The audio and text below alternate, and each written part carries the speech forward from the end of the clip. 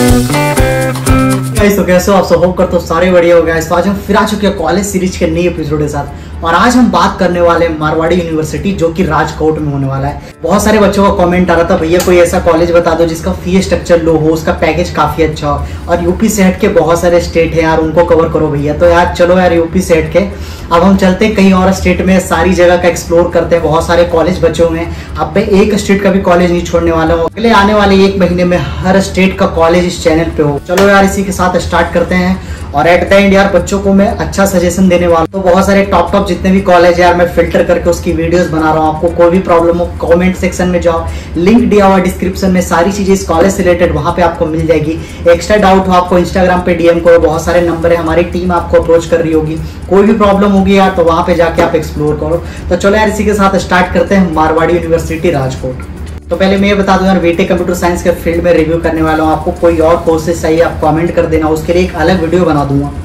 अब हम इसकी बात करें इंस्टीट्यूट ऑफ़ इन्फॉर्मेशन की। इंस्टीट्यूट इन्फॉर्मेशन की बात करें तो 2008 में इसका स्टैब्लिश ईयर है, जो कि काफ़ी पुराना कॉलेज है और प्राइवेट कॉलेज के अंदर में आता है। टोटल कोर्सेज की बात करें तो 93 कोर्सेज हैं और बीटेक के लिए हमारा 22 कोर्सेज है, जिसमें बहुत सारे स्पेशलाइजेशन मिल रहे होंगे आपके। आर्टिफिशियल इंटेलिजेंस लेना है बच्चों को डेटा साइंस लेना है मशीन लर्निंग साइबर सिक्योरिटी सारी चीज़ें इसमें आपको इंक्लूड हो गया, बहुत सारे कोर्सेज हैं। अगर हम कोर्स इन डिटेल की बात करें तो चार साल का ड्यूरेशन होने वाला और अंडर ग्रेजुएट कोर्स के अंदर आता है। एट देन बात करें स्टूडेंट रेटिंग रिव्यू भैया ये बताओ कॉलेज स्टैंड कहाँ करता है? इस कॉलेज की रैंकिंग क्या है? यार इसका ओवरऑल रेटिंग की बात करें तो 4.1 है, जो कि काफ़ी ज़्यादा अमेजिंग 4.1 रेटिंग अचीव करना कोई मामूली बात नहीं है यार, हर कॉलेज को नहीं मिलता है। कहीं ना कहीं कॉलेज उस लेवल पे एजुकेशन प्रोवाइड करता है प्लेसमेंट प्रोवाइड करता है। बच्चों को जॉब अपॉर्चुनिटी देता है तो इसके सेगमेंट में बात कर रहे हैं प्लेसमेंट की रेटिंग्स क्या है इंफ्रास्ट्रक्चर कैसा है, और फैकल्टीज क्या है क्राउडेड कैंपस क्या है बात कर रहे होंगे कि भैया क्या ये कॉलेज वैल्यू फॉर मनी है कि नहीं। तो चलो यार प्लेसमेंट की रेटिंग की बात करें तो 3.9 है, जो कि काफ़ी ज़्यादा बढ़िया है। इसकी प्लेसमेंट की आगे मैं डिस्कस करूँगा सारा डिटेल की मिनिमम पैकेज क्या है हाईएस्ट पैकेज क्या है, क्या इस कॉलेज में एडमिशन लेना वर्थ इट है। तो टोटली हम एंड में जाकर एक सॉल्यूशन निकाल रहे होंगे कि ये कॉलेज क्या है और कैसा है।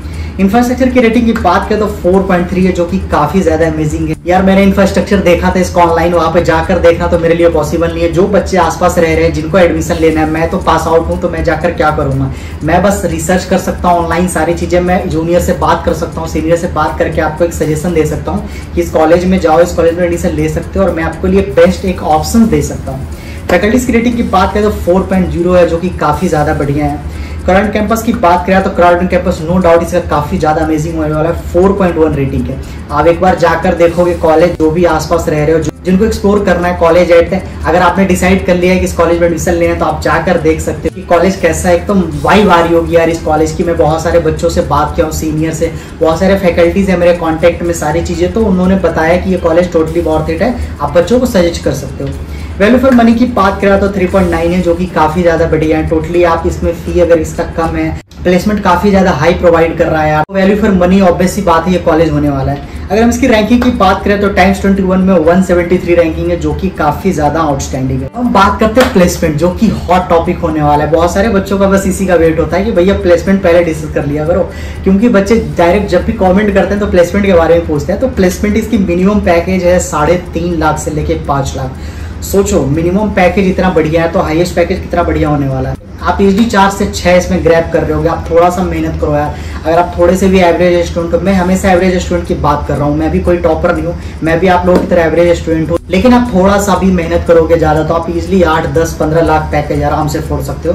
थोड़ा सा अपना कोर स्किल्स पे ध्यान देना है यार। प्रोग्रामिंग लैंग्वेज पे ध्यान देना है। तो सारी चीज़ें आपको हो जाएगी। बेसिकली ये है कि कॉलेज प्रोवाइड करने का मतलब ये है, मैं कॉलेज सजेस्ट कर रहा हूँ, जो कि कॉलेज में आपको अपॉर्चुनिटी मिले। इस कॉलेज से आपको अपॉर्चुनिटी मिलेगा, मैं वही कॉलेज सजेस्ट करूँगा। ऐसा नहीं कोई भी कॉलेज बता दिया मैं आपको। और वहाँ पे अपॉर्चुनिटी है नहीं, कोई भी बच्चा बहुत तेज भी है पढ़ने में तो इसका कुछ हो नहीं रहा। मारवाड़ी यूनिवर्सिटी के हाइएस्ट पैकेज की बात करें आप तो thirty four point fifty L P जो close to thirty five lakh per annum है।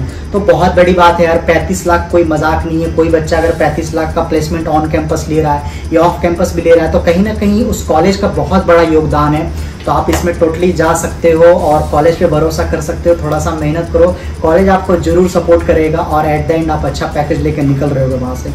अगर हम कोर्सेज से फ़ी की बात करें कि भैया सारी चीज़ें बता दी फ़ीस स्ट्रक्चर बता दो। बहुत सारे बच्चों का मेरे पास कमेंट इसीलिए आता है कि भैया मेरा बजट लो है, मेरा परसेंटेज लो है इवन एक बात ध्यान में रखने की ये है कि किसी बच्चे का मोर देन सेवेंटी परसेंट नहीं है। पचास साठ परसेंट उन्होंने ट्वेल्थ में ग्रैप किया तो उनके लिए कौन सा कॉलेज बेस्ट होने वाला है? यार यूपी मत जाओ, बिहार मत जाओ, दिल्ली, एनसीआर मत जाओ, कहीं भी मत जाओ, ये यूनिवर्सिटी आपके लिए बहुत बेस्ट होने वाला है। इतना बढ़िया पैकेज है और यूनिवर्सिटी में यार हमेशा फ़ीस बहुत ज़्यादा हाई होता है। लेकिन इसमें मात्र पाँच लाख आपको चार साल का पढ़ने वाला है। सोचो कितनी बड़ी बात है। पाँच से छह लाख हर बच्चों का बजट होता है। एट द यार, आप लोन भी ले सकते हो। चार लाख का इजिली लोन मिल जाता है। सिटी और से अप्रूव्ड है तो आपका यार लोन मिल जाएगा। आपको घबराने की कोई ज़रूरत टोटल इसका पाँच से छह लाख या फ़ीस एक्सटेंशन होने वाला है। चार साल का। भैया सारी चीज़ तो बता दिया एडमिशन लेने का सोर्स बता दो कि कौन कौन से सोर्स से एडमिशन ले सकते हैं। एग्ज़ाम की बात कर थे जियो जी सेट का एग्ज़ाम होता है कॉम्पिटेटिव लेवल का एग्ज़ाम है और एक जेई का एग्ज़ाम है। ये दोनों एग्ज़ाम के बेसिस पे आप इजिली इसमें एडमिशन ले सकते हो। उन बच्चों का क्या, जिन्होंने कॉम्पिटेटिव एग्ज़ाम दिया ही नहीं है जेई मीन्स दिया ही नहीं है, ये सारे एग्ज़ाम दिए हैं तो उनका क्या होगा यार? उनके लिए भी एक कॉलेज है, ऐसा नहीं है। मैं स्पेशली उनके लिए वीडियो बनाता हूँ। जो बच्चा कॉम्पिटेटिव एग्ज़ाम नहीं दिया, जो बच्चा डायरेक्ट एडमिशन लेना चाहते हैं। तो अगर डायरेक्ट एडमिशन की बात करें तो आप आपका फिफ्टी परसेंट भी ट्वेल्थ में है तो आप इजिली इस यूनिवर्सिटी में एडमिशन ले सकते हो। यार सही सुना,